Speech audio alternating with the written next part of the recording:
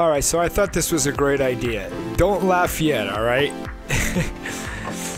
I thought from the top I would be able to do something that's far more dynamic, showing a strong foreground and what was happening in the background through a sense of elevation.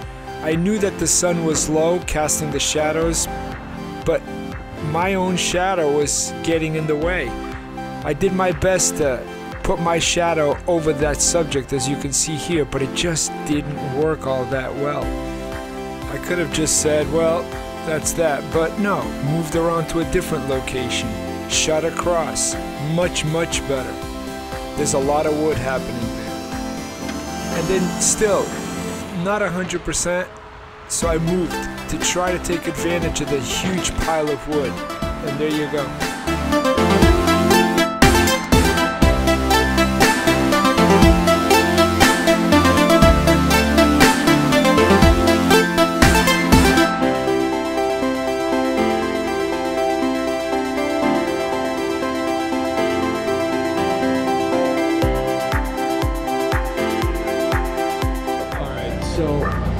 It is Tuesday morning at Station 6 in the south end of New Bedford.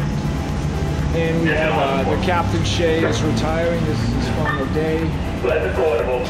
Everybody's out here wishing uh, good retirement. And uh, yeah, it's pretty emotional.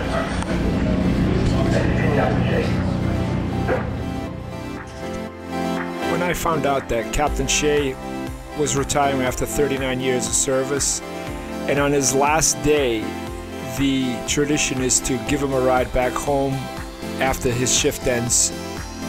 I was all over this. You gotta just become part of the wallpaper, so to speak. Follow him around. No talking. Just observe, document, look for interesting angles.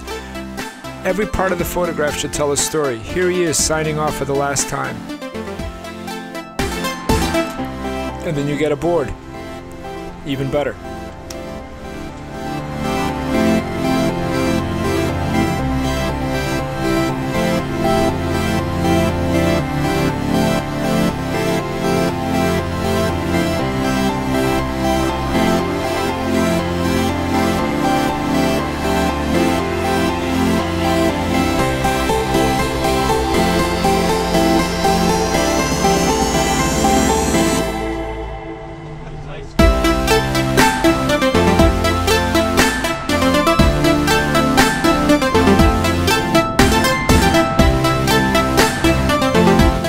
Fire department in any town, in any city, is a big brotherhood. Sometimes it's easy to forget these guys live with each other, they cook for each other. They go fight fires knowing or hoping that their fellow firefighter has their back. As journalists, it's hard to sometimes break into this brotherhood. When you do, make sure you make the best of it.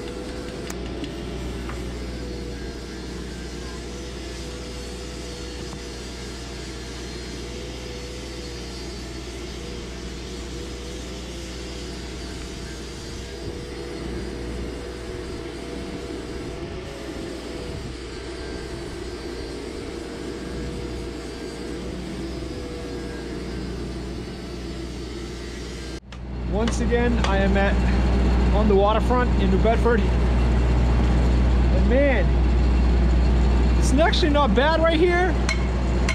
But it was like 25 degrees this morning. That's Fahrenheit. Pretty cold.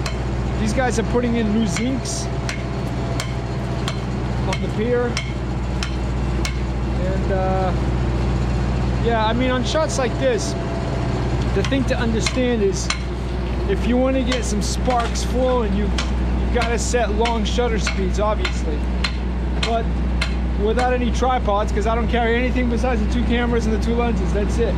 You gotta stabilize it somehow. And if you saw, I was using one of my other cameras um, as a spacer, so that the you know the wide angle it was facing in the right direction. Sometimes that works, sometimes it doesn't. But we're still on a floating dock, so you know there's going to be a little bit of movement no matter how hard you try.